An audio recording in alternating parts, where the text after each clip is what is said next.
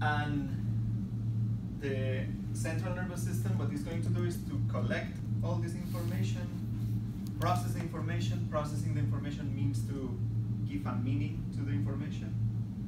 Then it's going to decide what to do if an action is required, and if an action is required, it needs to send messages to the effectors, which are actually organs. And all the organs in the body pretty much, they have either glands or muscle, okay? And this muscle can be a skeletal muscle or a smooth muscle or cardiac muscle. So you're gonna have skeletal muscles,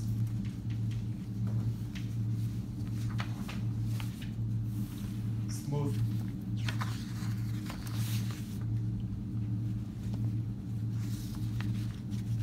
smooth muscle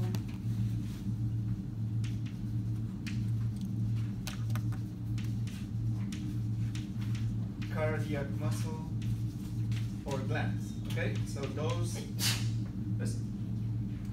those are going to be the possible effectors and this doesn't mean that the central nervous system can only send signals to one of them. So usually a response involves a combination of those all right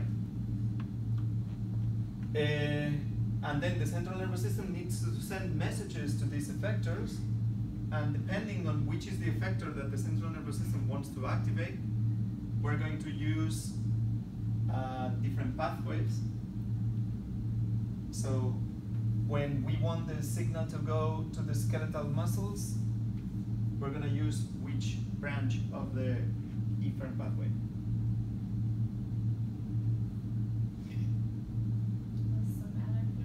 The somatic nervous system. When we want the signal to go to smooth muscle, we use what? Uh, autonomic and sympathetic. So the autonomic nervous system, so we want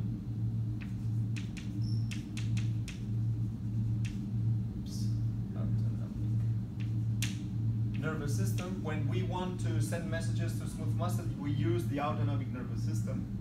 When we want to send messages to the cardiac muscle, we also use the autonomic nervous system. With glands, we also use the autonomic nervous system. But there are two branches of the autonomic nervous system are the Sympathetic. sympathetic and parasympathetic.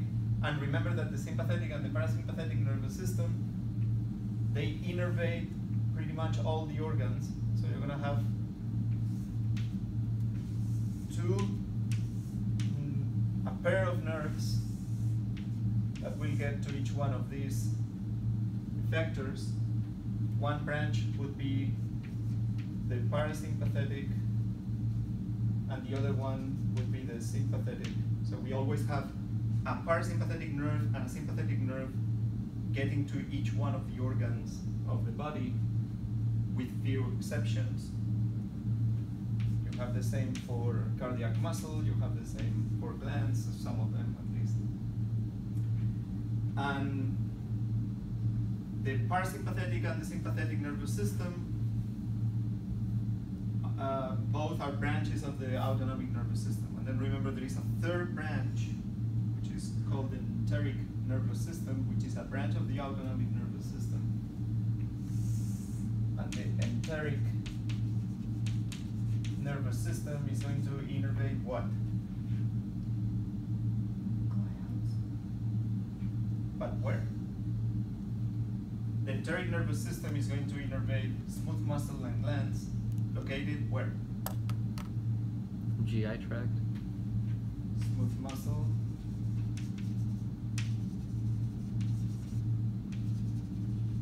And glands of the gastrointestinal tract. oh, tract. Right? That would be the enteric nervous system. So, I want you to have very clear that the somatic nervous system, have somatic have two main branches of the efferent pathway, somatic and autonomic.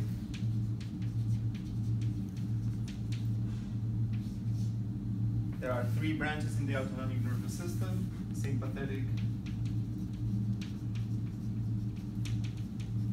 parasympathetic,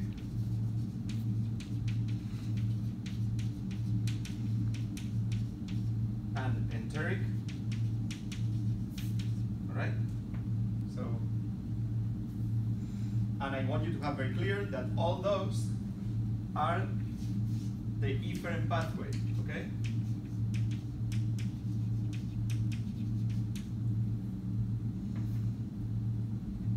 Alright? So here you have this scheme, so you have the central nervous system formed by the brain and the spinal cord, and the peripheral nervous system.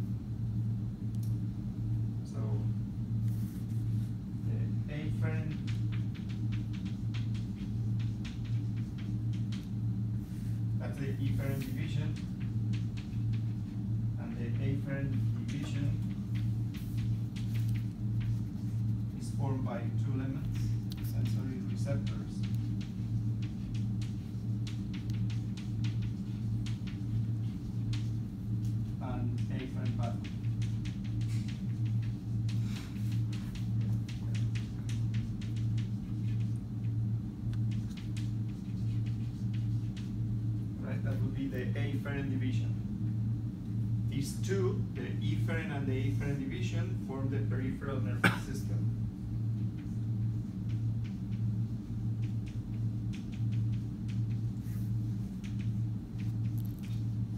Alright?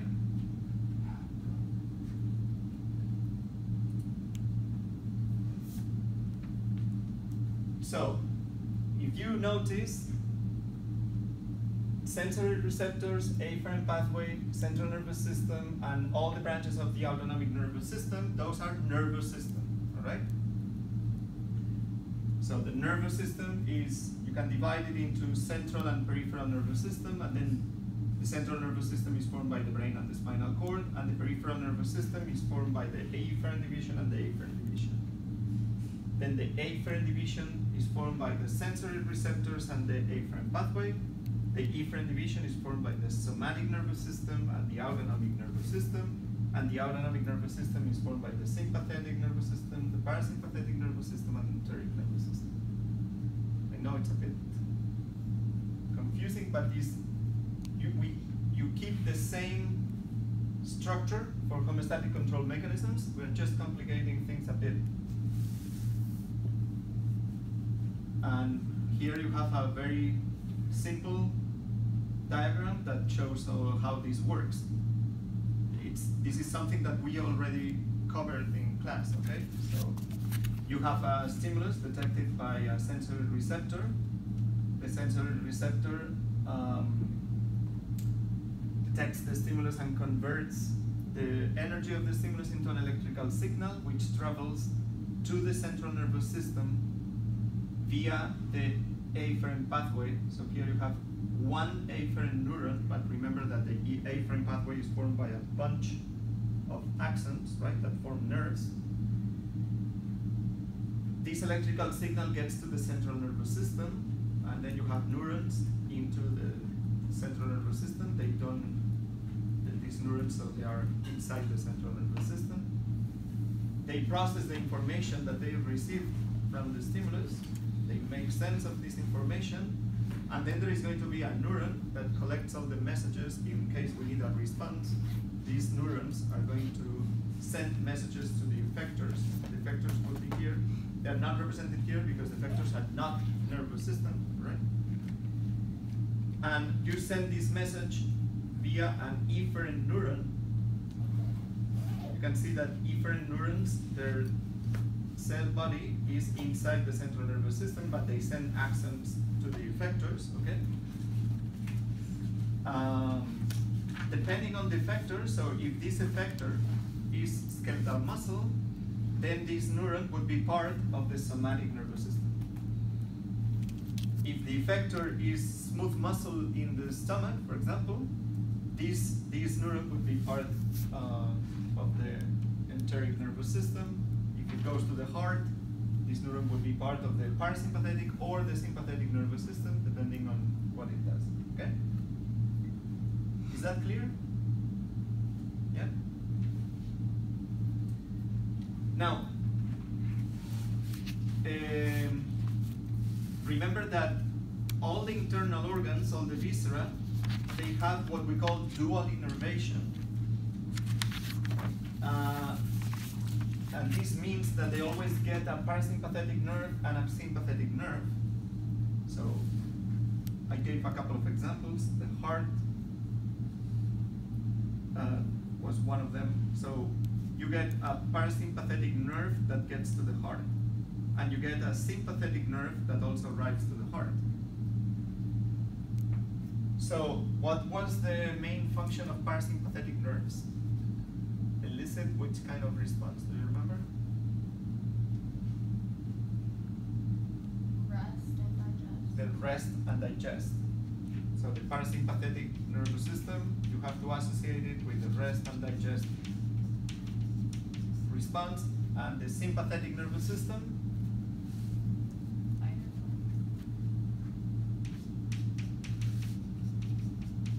Fight or fight or flight,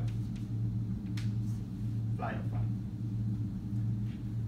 So whenever you are in a in this kind of situation, you are going to activate the sympathetic nervous system and deactivate the parasympathetic nervous system. And what I was explaining is imagine your your physiological reaction before an exam. Okay, so what happens? You feel nervous, right? And what are the, all the um, physiological responses that you that you produce when you are nervous? For example, your heart rate. Do you think it increases or it decreases? When you are nervous, Increases. increases. Your respiratory rate Increases. increases. Do you want to go to the bathroom? Sometimes. Are you hungry when you're nervous? You're not.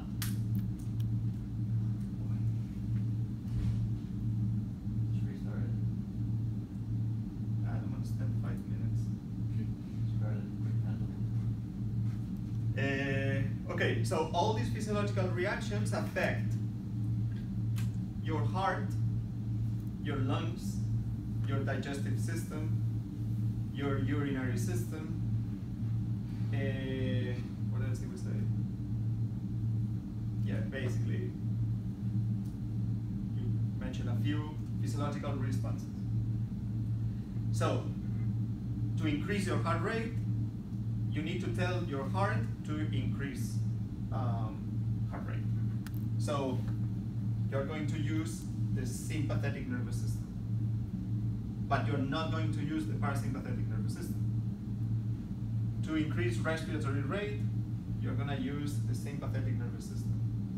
To increase, uh, inhibit digestion, you're going to use the, uh, the sympathetic nervous system to stop urine production because this is something that you don't need to do in a stressful situation. That's, that's something that can wait.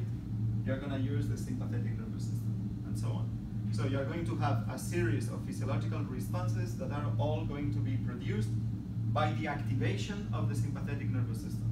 Okay? Your central nervous system in a situation of stress is going to send messages to different effectors, and these messages they will go towards the production of an overall physiological response that basically what it does is to put energy in your system. You are in, in facing a situation in which you probably want to run away or you are going to use lots of nutrients, okay, potentially, and then your central nervous system is going to make sure that you mobilize these nutrients, that you put all these nutrients in the blood so all the cells can take these nutrients if they need them, all right? In the rest and digest response, so tonight you go home and you did a great job in the exam and you already have your grade and it's perfect. You go home, you lay down in the couch, have a nice dinner, and watch TV. So you are totally relaxed. So can use all your efforts to digest your nice dinner. You don't need to put nutrients to uh, help, I don't know, skeletal muscles to get a lot of energy because you're not, you don't want to move, really, you don't have to. So instead of activating the sympathetic nervous system, you're going to activate your parasympathetic nervous system. When you activate your parasympathetic nervous system, then you're going to promote digestion here, but you're going to decrease heart rate, decrease respiratory rate, uh, you're going to spend, uh, you're going to produce urine, etc. So you're going to do all these processes. Yeah, you are going to activate your immune system, uh, etc. So you're going to do all these things that you do while you are resting or digesting uh, food items, right? So notice that these responses are the opposite, okay? The opposite to each other. So you cannot have both activated at the same time. If you activate both the sympathetic and the parasympathetic nervous system at the same time, then all the organs are going to get contradictory information, right? That's, that cannot happen. So when you activate one, you deactivate the other, right?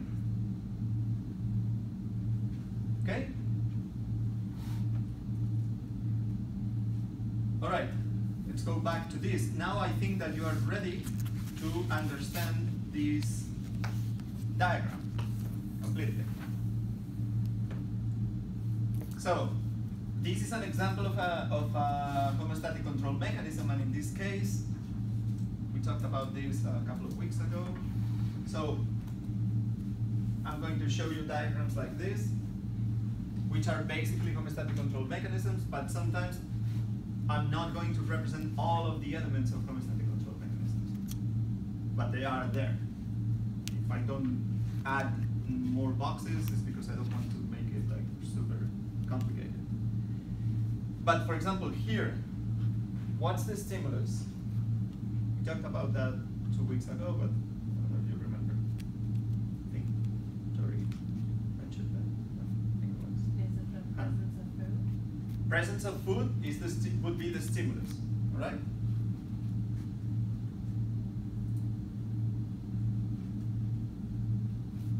So that's a change in the environment, right? So when you are not eating, your sensory receptors, uh, remember we have mechano and chemoreceptors. Mechanoreceptors feel changes in pressure.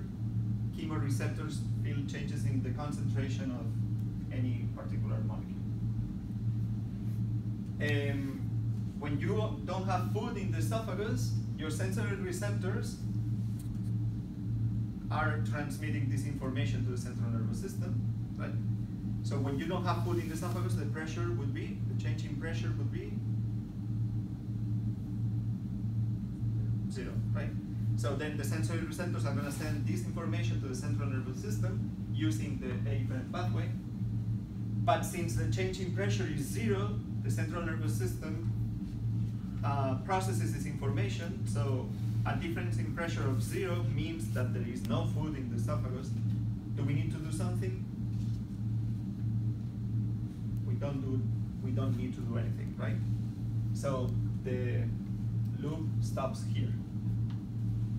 Now, whenever we eat some food and we try to swallow this food, now we're going to have a change in the pressure of the wall of the esophagus, right? So we're gonna have specialized neurons that are going to detect these changes in pressure. We call those mechano, mechanoreceptors. When you have food in the esophagus, you are also going to change the concentration of particles in the esophagus, right? So this is going to be detected by chemoreceptors. And these receptors are going to send messages to the central nervous system. These, these sensory receptors are going to collect this information, translate it into an electrical signal, and send electrical signal to the central nervous system using the afferent pathway, which is not represented here. All right? The afferent pathway is a bundle of nerves, right? So in the esophagus, these nerves are going to these axons of the sensory receptors. They're going to be uh, merged together, and they are they are going to form one nerve that is going to travel from the esophagus to the central nervous system, in this case in the brain, in an area that we call the swallowing center. Okay? And now you you are the central nervous system, you get this information. Now the difference in pressure is larger than zero, the concentration of molecules in the esophagus is larger than zero. So you need to do something, right? What do you want to do? The main function of the esophagus is to move food from the uh, to, to the stomach, basically, right? So if you are the central nervous system and you get information that there is food in the esophagus, then you need to send messages to the effectors to move this food to the stomach, right? Now, who do you need to use to move food to the stomach? Well, remember that the esophagus is a tube, and this tube has a lumen, the cavity, and it has a wall, right? And the esophagus is a tube that is more or less uh, one foot long, more or less. And it turns out that if we do a cross section of the esophagus here, close to the mouth, then you're gonna uh, see different layers, right? All these layers that we talked about of the um, wall of the gastrointestinal tract, the mucosa, muscularis, remember all those? Well, it turns out that the muscularis here is formed by skeletal muscle.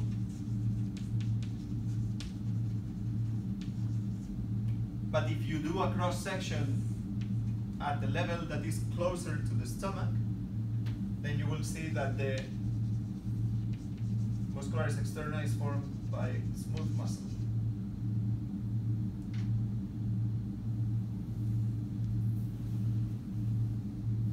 So now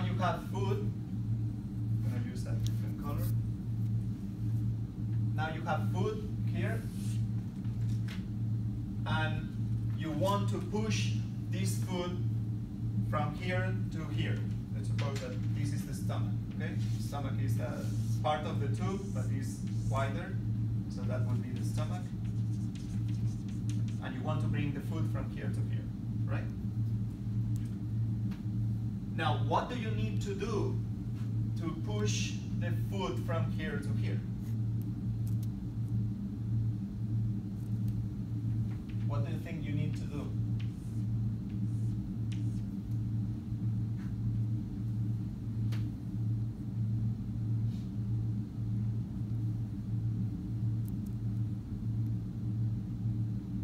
What do you want to do? And the food is inside the esophagus, which is basically a tube. And what do you need to do? You broke it down a bit already. Remember that the, the esophagus doesn't have that doesn't do any digestion. Alright? So it will be further broken down. So we do some digestion in the mouth when we chew and we mix the food with saliva. Okay? So in the esophagus the main function was motility. Because the only basically the only function is to move the food from here to here. So how do you think the esophagus can do that? You need to contract your muscles. Remember that to produce for this um, process of motility, we can do that because we can contract smooth muscles or skeletal muscles in this case. Now, when you contract the skeletal muscle here, you are going to make the diameter of the tube smaller, right? Right? If you contract the esophagus in its entire length, what's going to happen with the food? Is it going to go anywhere? No. So what you need to do is to contract muscles here first, and you are making the diameter of the tube smaller. Now the food is pushed in this direction. Then what you need to do is to relax the muscles in this region and contract the muscles here, right? So when you do that, then you will have something like this.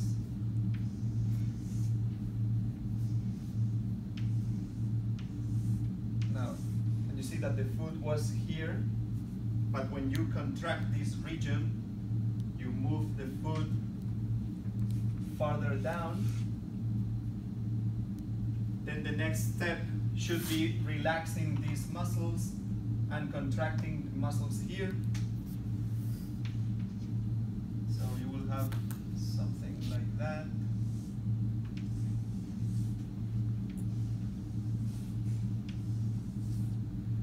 And now the foot was here, but now we contract these muscles, we push the foot down here, right? And so on.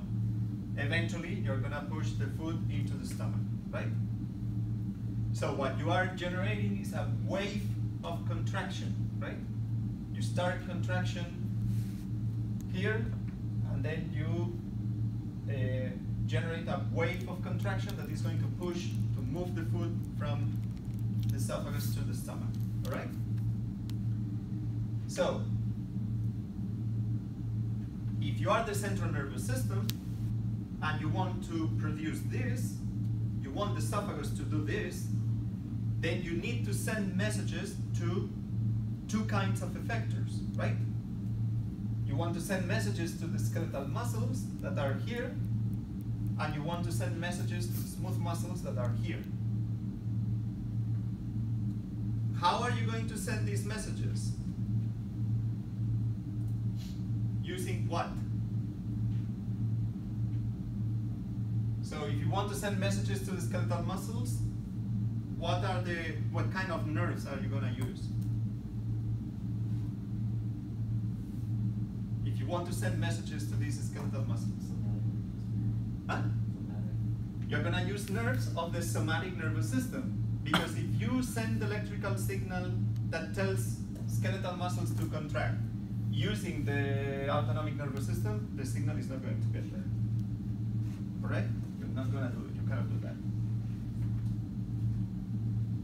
Which kinds of nerves are you going to use to send messages to smooth muscle once the food gets here?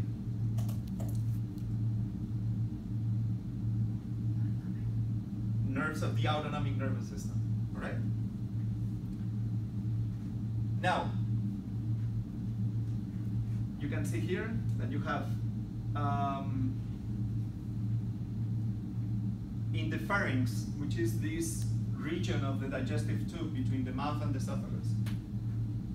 And the first, the upper third of the esophagus or so is formed by skeletal muscles. This is why it's voluntary, okay? So you have food in your mouth and then you decide if you, when you want to swallow the food, right?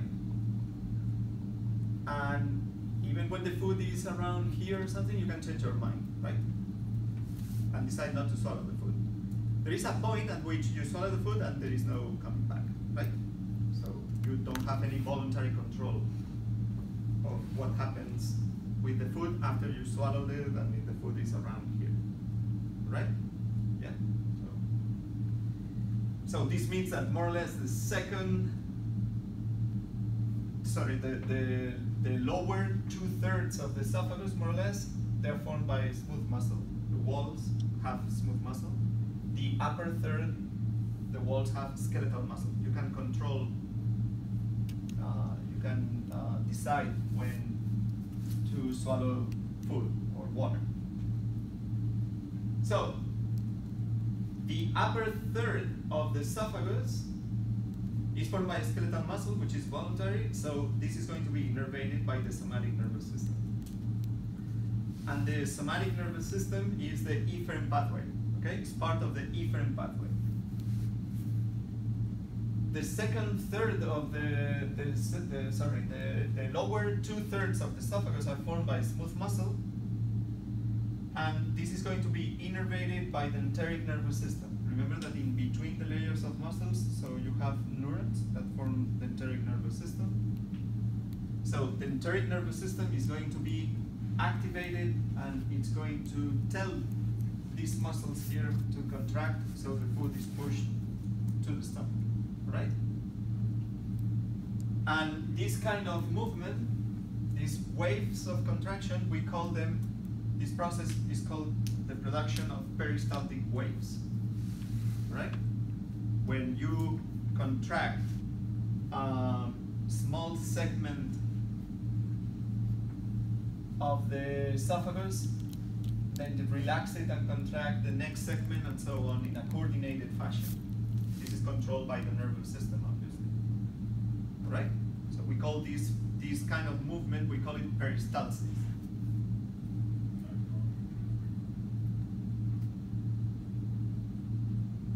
Now, there, what's going to be the response?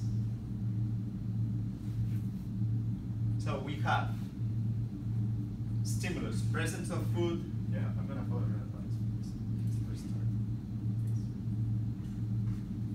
So, the stimulus, presence of food in the stomach, sorry, in the esophagus. We have mechano and chemoreceptors that are going to measure these variables, right? Pressure, concentration of um, particles in the esophagus, right? So we have these sensory receptors that detect the stimulus and translate the stimulus into an electrical signal. This electrical signal goes to the central nervous system using the afferent pathway, nerves, okay? And then the central nervous system decides to do something. In this case, the food needs to be moved to the stomach. Send signals to the effectors. The effectors in this case are skeletal muscles in the upper third of the esophagus, smooth muscle in the lower two thirds of the esophagus. All right, these effectors are going to produce a response, right? What's going to be the response?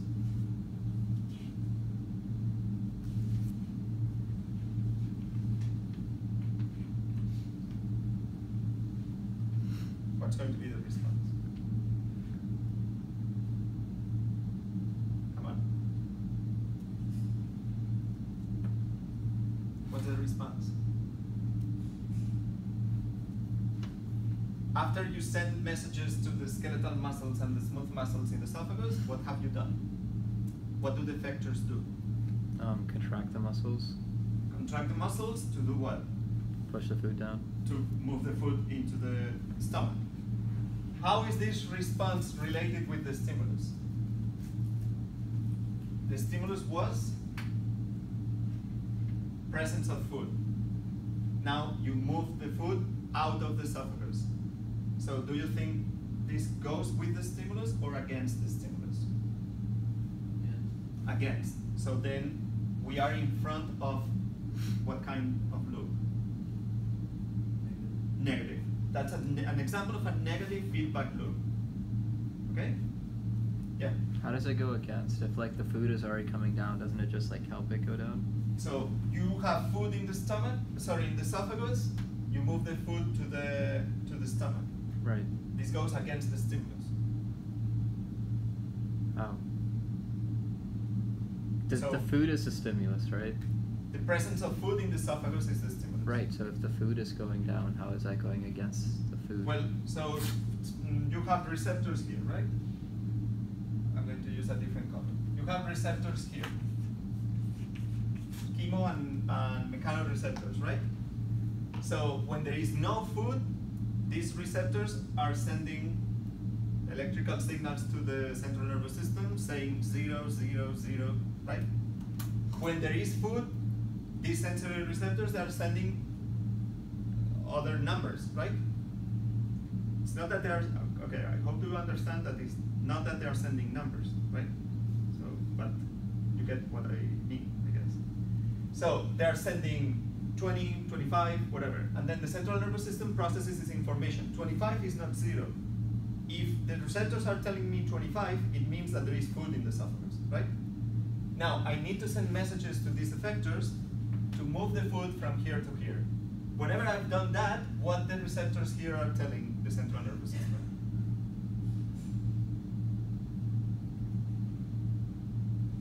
Whenever there is no food here, so the food is already in the stomach, these receptors are telling the central nervous system what? Zero. Zero, zero, zero, right? So this goes against the stimulus. Okay. Yeah? The food is still there, but now it's in the stomach. We will talk about this.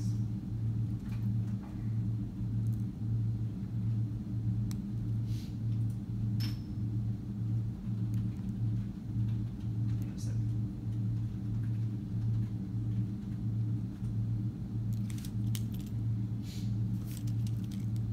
Is that clear?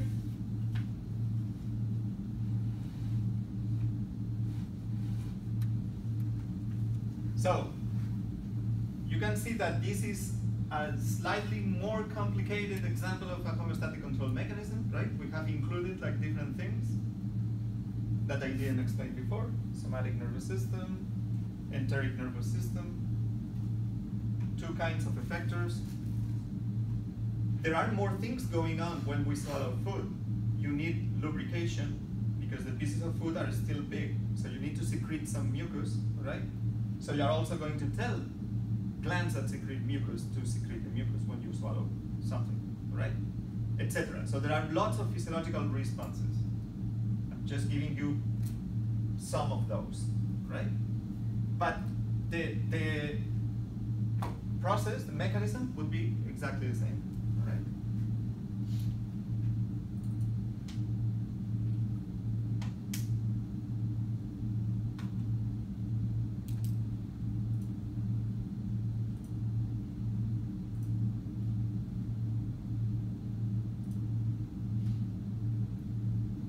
Any more questions? You understand this process? You see why I insist a lot now in you understanding homeostatic control mechanisms? The rest of the semester is going to be like this. You should be able to uh, detect all the elements of homeostatic control mechanisms in these diagrams that I'm going to show you over and over the rest of the semester. Right? Okay, now, now the food is in the stomach, right? So let's see what happens in the stomach. So before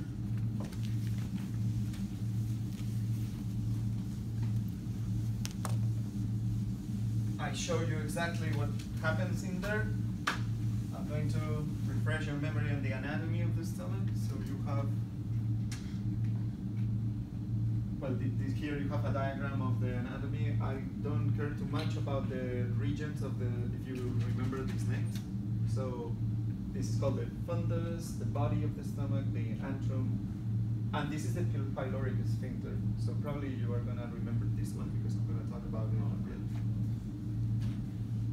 But this is, these are the regions of the stomach that you see um, without the need of um, uh, microscope. If you do a cross section of the stomach at any level, okay, any level, so here or here, okay, you're going to see these four layers that I talked about for the gastrointestinal tract. This is gastrointestinal tract. This is digestive tube, okay, and you're gonna have a mucosa. You're gonna have a submucosa. You're gonna have a muscularis externa. You're gonna have a serosa, right? In the mucosa, remember that the first layer of the mucosa was formed by by what? You remember that? You are taking anatomy tutoring. So what's the what kind of tissue do you find always when you line a cavity or you cover a surface? Epithelium. So if you do a cross section, you're gonna have a tube, right? You're gonna have the cavity of the tube is always called lumen, and then you're gonna have a layer of epithelial cells, right? So in the case of the esophagus, you have multiple layers of epithelial cells because you want to protect the wall of the esophagus because the food particles are still pretty big and they can damage the wall of the esophagus. But in the stomach, what you find is one layer of cells, all right? Can see that that would be the epithelium of the stomach, one layer of cells. But you can see that the epithelium is kind of convoluted, right? it forms like these projections inwards, which we call invaginations. And we have different types of cells, right? in the in the epithelium of the stomach, and they receive different names, but yeah, don't worry too much about those. These different kinds of cells are going to do different things. Out of these four processes that happen in the digestive tube, which you should remember, which, which are those? The four processes that happen in the digestive system.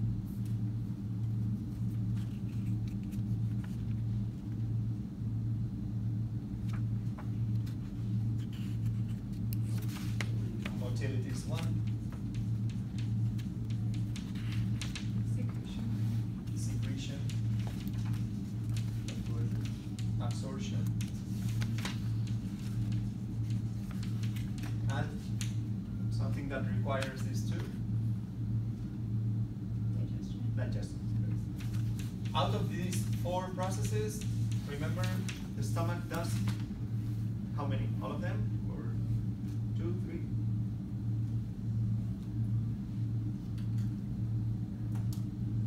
So the stomach does some motility?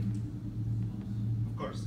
First, need to move the food from here to the intestine, right? But not only that, you we use motility in the stomach to digest the food, right? So uh, we grind the food in that is uh, inside the stomach. Do we do secretion in the stomach? Yeah.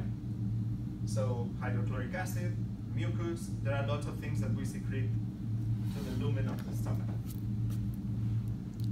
Motility is used to digest food.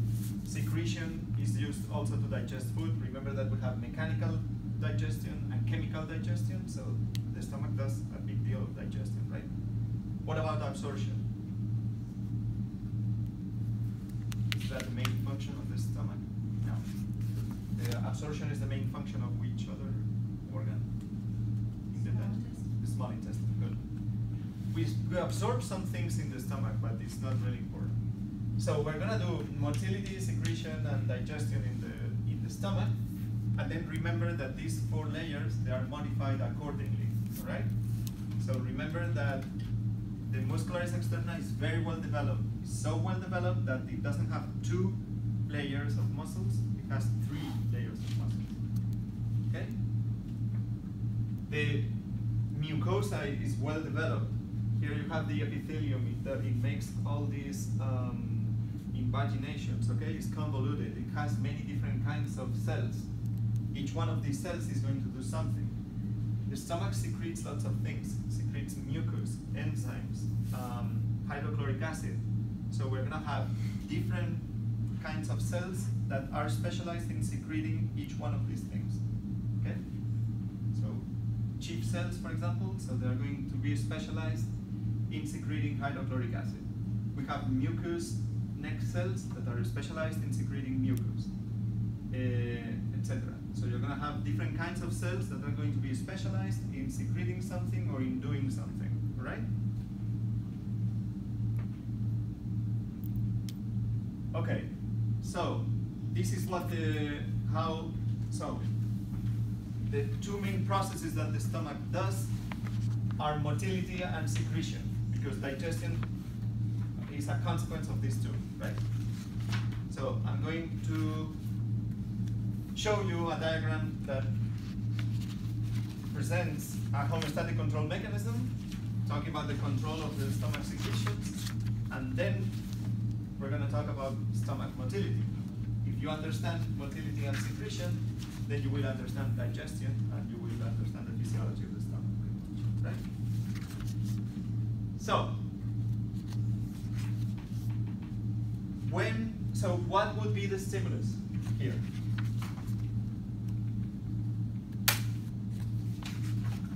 We are talking about the control of the stomach secretions, all right? So think about your body. So now you're not eating, right? And you know that your stomach is secreting hydrochloric acid, enzymes, things that can actually do a lot of damage to your stomach wall, right? Hydrochloric acid is a strong acid. If I if I drop hydrochloric acid in this table, probably is going to dissolve the table. Yeah. So the question is, do you want to secrete hydrochloric acid in your stomach when there is no food there? You don't, right? So you need to exert some control of your stomach secretions, right? You need to decide when to secrete things and how much of it you want. If you don't control that, if you allow your stomach to secrete all the time or whenever there is no food, but then whenever there is food, your stomach does whatever it wants and it doesn't secrete anything, then you're gonna be in trouble, right? So, we, our central nervous system actually tells the stomach when to secrete things. So, what do you think would be the stimulus to secrete things? What would be the stimulus? Presence of food. presence of food in the stomach, right? The same as with the esophagus. If there is no food, we have mechanoreceptors, chemoreceptors, osmoreceptors. Osmoreceptors are receptors that measure the concentration of particles in a solution. Remember osmolarity? It's the concentration of particles no matter what they are? So, if there is no food in the stomach, the mechanoreceptors are going to send what message? What's the change in pressure? Zero, zero, zero, right? The chemoreceptors are gonna send zero, zero, zero. The osmoreceptors are gonna send zero, zero, zero. They are going to translate that into an electrical signal. This is gonna get to the central nervous system. The central nervous system receives these messages. If everybody is telling you zero, this means that there is no food in the stomach. Do you need to do something? No. But whenever there is food in the stomach, the sensory receptors are going to send different messages, right? So now it's not going to be zero, it's going to be 10, 15, 20, whatever. And this is this presence of food is going to be these different stimuli are going to be translated into an electrical signal. This electrical signal is going to be sent to the central nervous system via the afferent pathway, which is not represented here.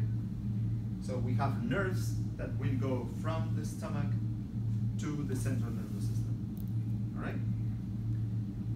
And whenever these electrical signals get to the central nervous system, the central nervous system is going to collect what the mechanoreceptors say, what the chemoreceptors say, what the osmoreceptors say. It's going to make sense of everything all together. And if they are all telling you zero, zero, zero, this means that there is no food, right, in the stomach. But if they are telling you like 20, 35, 40, this means, oh, there is food in the stomach. So we need to do something, right? And the central nervous system is going to decide to send messages to the effectors, which in this case are going to be what? What are going to be the effectors in this case? We're talking about secretion. Glands. So the organs that are specialized in secreting things are glands. And if you want to send messages to glands, what division of the efferent pathway are you going to use? Are you going to use the somatic nervous system? No, because the somatic nervous system, you only use it to send messages to skeletal muscles. So you are going to use the autonomic nervous system. And why do you want to secrete something? Because you want to digest food. So, which branch of the autonomic nervous system are you going to use? Going to use the sympathetic nervous system when you want to digest food? No, because if you use the sympathetic nervous system, you are going to inhibit digestion. You want to use the parasympathetic nervous system, right? So you're going to use the parasympathetic nervous system to send messages to the stomach glands.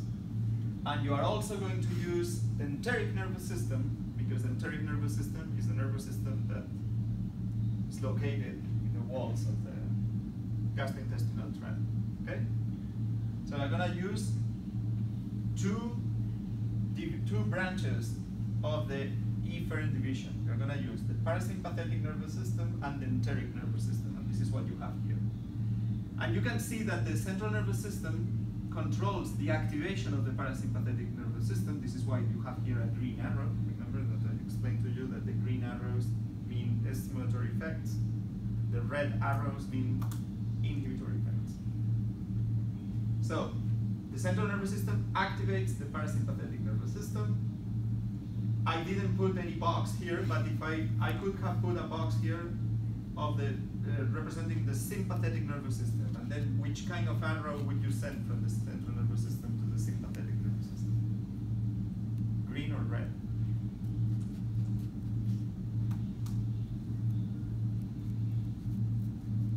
You have here the sympathetic nervous system. Red, Red. Why? because you, you have to deactivate the sympathetic for the parasympathetic to work. So you activate the parasympathetic nervous system. This means automatically that you have to deactivate the sympathetic nervous system. So if I had included the sympathetic nervous system here, you would have seen a red arrow from the central nervous system to the sympathetic nervous system. Okay? But you can see that there is a great deal of communication between the central nervous system and enteric system, but also between the parasympathetic and enteric nervous system, right? And they need to be coordinated, obviously, right? So this is why there is some communication. All right, so ultimately, the enteric nervous system is what is going to tell the stomach glands to do something. Remember that the layers, you have the mucosa, the submucosa, and the muscularis externa, right? But you have enteric nervous system in between the muscularis externa, remember that?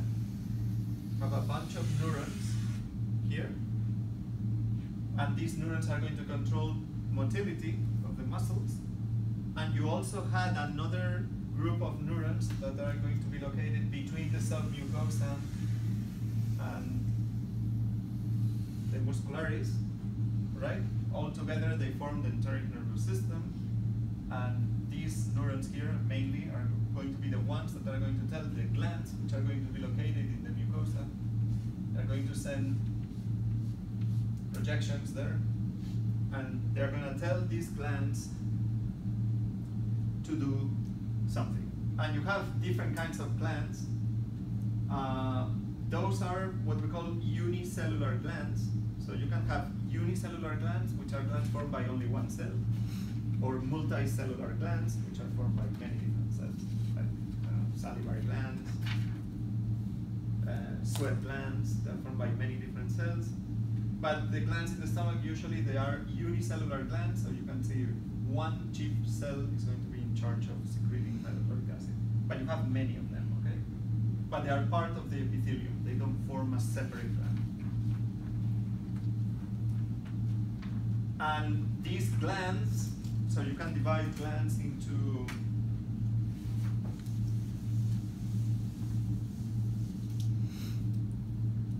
so you have unicellular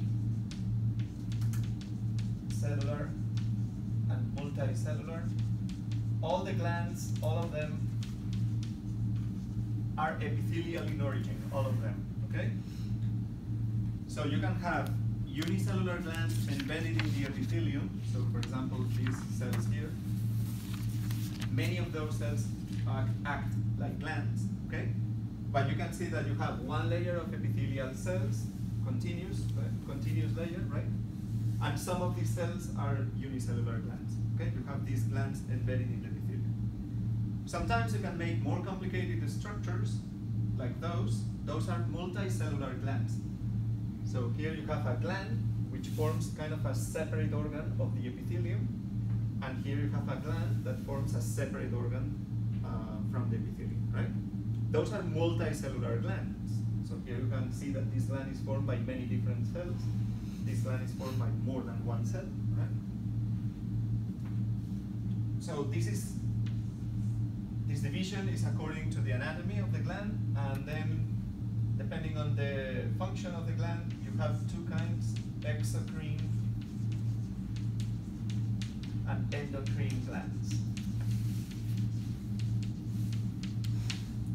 What do, what do you think exo means? Outside. outside. So exocrine glands are going to secrete things outside of the body. So they are going to have um, so secrete outside and they have ducts.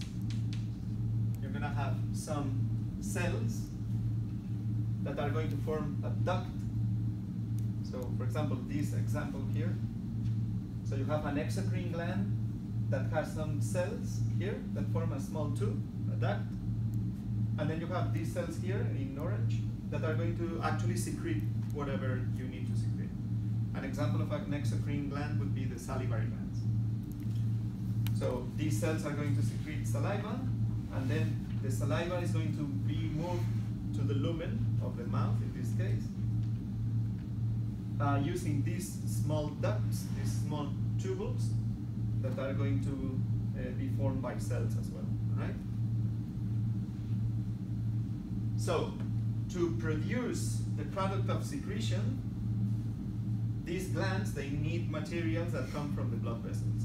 We discussed this a bit when I talked about the structure of the gastrointestinal tract wall. Remember that for secretion,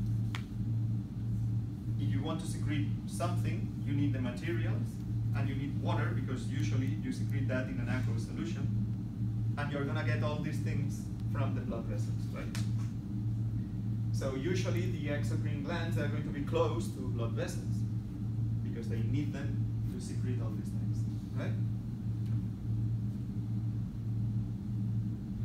The endocrine glands, endo means inside, right? The endocrine glands, they also produce their glands, so they are going to produce something, and they are going to secrete something. But instead of secreting that thing outside of the body, what they do is to secrete it into the blood vessels,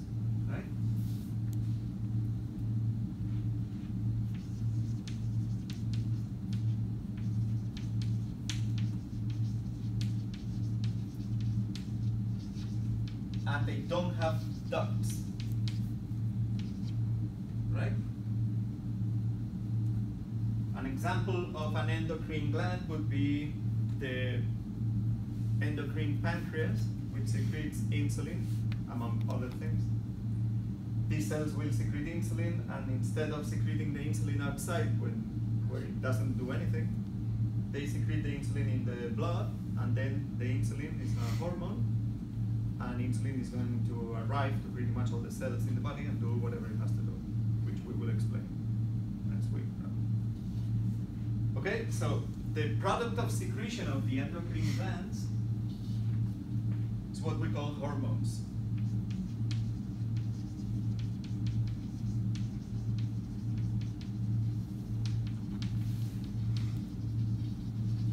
So everything that is secreted by an endocrine gland, we can call it a hormone.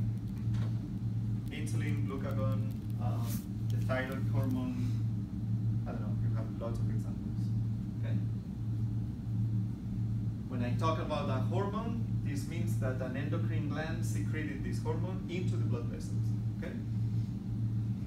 There is no collective name for the secretion of exocrine glands. There are different things, but collectively they don't receive any kind, any name. Okay?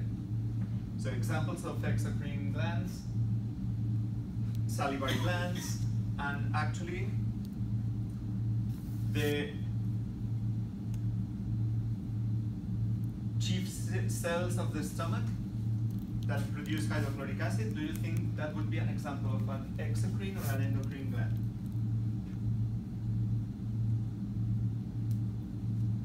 So exocrine, because the lumen of the stomach is actually outside of the body, right? Okay? So the chief cells of the stomach are actually an example of a unicellular exocrine gland. Okay? that clear?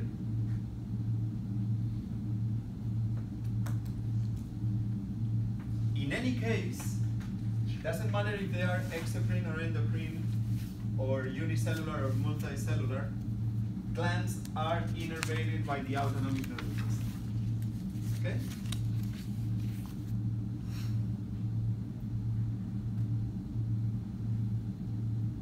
All right, so back to this diagram. We already identified the stimulus. We have the receptors here. The afferent pathway is not represented here, but it's here, okay. Central nervous system, and then two branches of the efferent pathway, the parasympathetic and enteric nervous system are going to secrete a variety of things, okay? And each one of these things is going to be secreted by specific kinds of cells. Now, this is going to become like really complicated in a minute. I don't want you to, I'm not interested in you memorizing all these names because if I ask you something about this, I will show you the diagram in the exam, okay? And then I will ask you questions about this, but they are going to be kind of general questions like identify elements of homeostatic control mechanisms here, or which ones are the effectors, okay? What's the overall response, and so on. Here you have a few things. The stomach secretes lots of things, but hydrochloric acid is probably one of the most important. So hydrochloric acid is an example of, uh, so hydrochloric acid is secreted by unicellular exocrine glands, okay, because it's going to be secreted to the lumen of the stomach directly. Pepsinogen is an enzyme, right? What's an enzyme? Can you dis- can you Protein-based catalyst. a protein, okay? And this protein, so basically what it does is to help in the process of to um, it's either helping a biochemical reaction to occur or allowing it to occur. Some biochemical reactions they do not occur unless they are in the presence of an enzyme. Pepsinogen is an inactivated enzyme, all right? This is why it has this suffix gen. So every time you, you, you see this, this will mean an enzyme that is not active, all right? We also secrete mucus in the stomach. That's an, another example of, exo, of an exocrine secretion, right? Pepsinogen is another example of exocrine secretion. And these three things, somatostatin, gastrin, and histamine, they are hormones. Therefore, they're not going to be secreted to the lumen of the stomach, they're going to be secreted into blood vessels. Alright? now, the hydrochloric acid is kind of the key here. And here you have a diagram in which I show you how we produce hydrochloric acid. So here you have a epithelial cell of the stomach. Actually, specifically, this is a chief cell. Okay. Those cells specialized in secreting hydrochloric acid. That's a stomach lumen. That's a blood vessel. And I'm not going to explain that in, in, in a big detail, but you can see that the chief cell is getting things from the capillaries. And there are lots of things happening here. And the end result is that uh, protons and chloride ions are being secreted to the lumen, right? These protons and these chloride ions, they're going to be um, reacting and they're going to form the hydrochloric acid outside the cell, right? That's smart because if you produce the hydrochloric acid inside the cell, what do you think is going to happen? The hydrochloric acid is going to eat the cell, right? It's going to dissolve the cell, and you don't want that, obviously. But if you send uh, protons and chloride ions outside, then you're going to have production of hydrochloric acid outside, all right? For that to happen, to send protons and chloride ions, you see that there are lots of reactions here. And I want you to notice, so you can take a look at this this weekend or whatever, you can see different examples of transport of molecules across the plasma membrane, right? This is a cell. The cell is surrounded by plasma membrane, and here you have ion channels that allow diffusion of ions. Here you have a pump that's similar to the sodium potassium ATPase, but actually look what it does. Instead of moving sodium out, it moves hydrogen ions out, and it moves potassium inside. Right? You need energy to do this. That's why this is in red. Here you have secondary active transport. So you have three different kinds of transport at least, and this is why I insist that you understand the different kinds of transport, because that can explain lots of physiological processes at the cellular level. And you need primary active transport like this to produce an electrochemical gradient that actually you're going to use it to your advantage later. If you don't do this, then diffusion of uh, potassium, potassium out and chloride out is not possible. If you don't do this, this example here, secondary active transport, is not possible. Okay? I want you to understand all this very well. Come back to that awful table where you have all the characteristics of the different, different mechanisms of transport of molecules. You need to understand that very well. If you don't generate an electrochemical gradient, then you're not going to be able to secrete hydrochloric acid. If you cannot secrete hydrochloric acid, you're not going to be be, be way more difficult for you to digest food. Right? Take a look at this, and if you don't understand the process very well, come and talk to me and I can explain it to you, or I can check that you actually understand. Alright?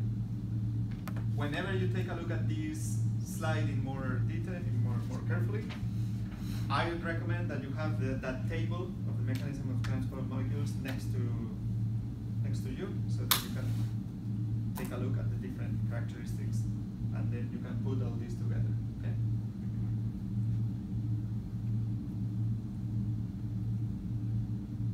So, hydrochloric acid, when when these cells secrete hydrochloric acid, now you have the hydrochloric acid outside, and it turns out that what hydrochloric acid does is to break down pepsinogen. Remember that I told you that this is an active, an inactive enzyme. So an enzyme is a protein. And why is it inactive? Protein is a chain of amino acids, right? So you're gonna have some amino acids here. But usually these enzymes that are inactive, they have a tail that blocks some site that is going to do something very important, right? This is the inactive form of the enzyme, and what hydrochloric acid does is to break down this tail. And now, now whenever you don't have this tail here, now this is an active enzyme. And we call the active enzyme pepsin. The active enzyme of pepsinogen is pepsin. This is the same molecule without this tail, okay? And the tail is broken by hydrochloric acid.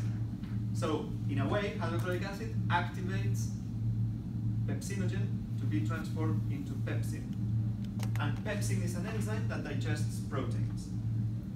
Hydrochloric acid also digests proteins directly, okay? Breaks down the different proteins, okay? So these two, they are gonna work together to break down proteins.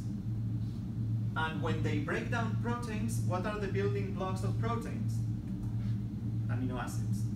So when you break down a protein, you produce amino acids. Alright? So,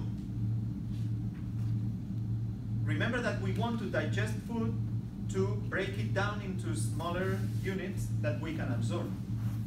So, whenever we break down proteins into amino acids, now we can absorb the amino acids. So, our job is done, right? pepsin and hydrochloric acid, they break proteins and form amino acids. Now you have amino acids in the stomach. And amino acids are going to uh, activate the production of hydrochloric acid.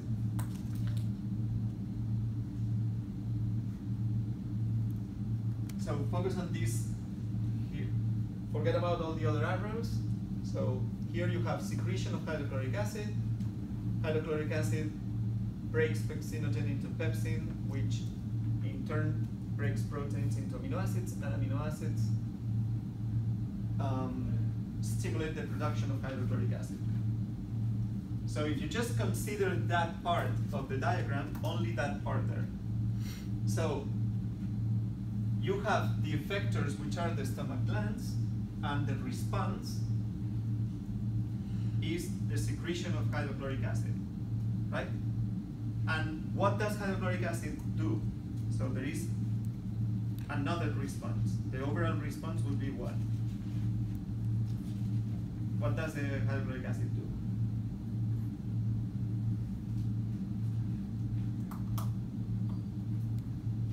So it breaks proteins into amino acids, right?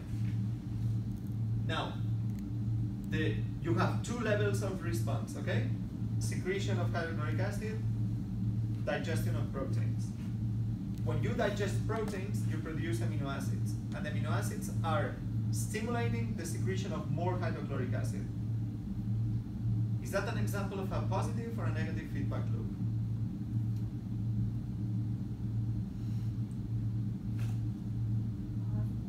Positive. Okay? Because you have the response is to break down proteins into amino acids, and now you have amino acids that are going to activate the production of hydrochloric acid. So you are producing more of the same. Is that clear? If this were a negative feedback loop, if you have amino acids in the stomach, this means that you broke down all the proteins, right? So then that should stop the production of hydrochloric acid. That would be an example of a negative feedback loop, but actually this doesn't happen. So the presence of amino acids stimulates the stomach to secrete more hydrochloric acid. Amino acids also, they stimulate the, the um, secretion of gastrin. Gastrin also stimulates the production of hydrochloric acid. But you can see that, now focus on this particular part of the diagram only. So the production of amino acids stimulates the production of gastrin. That's a hormone. It will be secreted in the blood vessels. It will come back to the stomach. And then it will stimulate the cells, the chief cells, to secrete more hydrochloric acid. But look at this. The presence of hydrochloric acid inhibits the secretion of gastrin. So this would be an example of a negative feedback loop. And we use that to control the amount of hydrochloric acid that we have in the stomach because you don't want too much. You want just enough to digest the food, but if you secrete a lot, then you're going to start digesting your own tissue, and obviously this is not going to be good. The hydrochloric acid stimulates the production of somatostatin, which is another hormone, but you can see that whenever there is a lot of somatostatin in the blood, that inhibits the secretion of hydrochloric acid. Somatostatin inhibits the secretion of histamine, which in turn stimulates the secretion of hydrochloric acid. Gastrin stimulates the secretion of histamine, etc. So you can see that there are lots of things that respond together when we have food in the stomach. Now, the main point here, you can take a look at this at home and then make sense of all this. Believe me, so this does make sense. But the main point here is the hydrochloric acid is probably the most important uh, product of secretion of the stomach. You want to control very careful the amount of hydrochloric acid that you secrete. So then you are going to have lots of molecules that are going to allow you to control the secretion of hydrochloric acid very carefully. You want to secrete hydrochloric acid very carefully because it's a dangerous molecule. It can't dissolve your, the wall of your stomach and you cannot allow to do that, right? So, you have lots of molecules because you want different mechanisms of control because if one of them fails, if the gastrin fails, it doesn't matter because you have soma- somatostatin, you have histamine, okay, you have other things that can control the secretion of hydrochloric acid.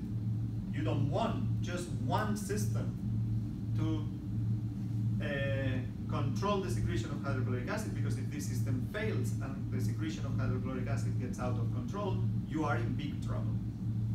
Alright? So this is an example of redundancy in physiology. If you remember the first or the second lecture, there were characteristics of homeostatic control mechanisms, and one characteristic was redundancy. So this means that many physiological systems are redundant. So this means that many different things do pretty much the same. And that makes sure that we are going to spend more energy in that, but that makes sure that all the physiological processes are carefully controlled. Okay? Now, you can see also that this, this is a homeostatic control mechanism, okay? But you have different, in this case, only one effector, stomach glands, but you have many levels of responses. Okay? Many levels of responses. And but the overall response would be digestion of food. So in the end, what you want is to secrete all these things to digest the food that comes to the, to, to the stomach, right? And send it to the small intestine. Okay? So that don't lose the big picture, and all those are kind of details that you need to understand, but don't lose track of the big picture, okay? So zoom in and zoom out all the time. Any questions?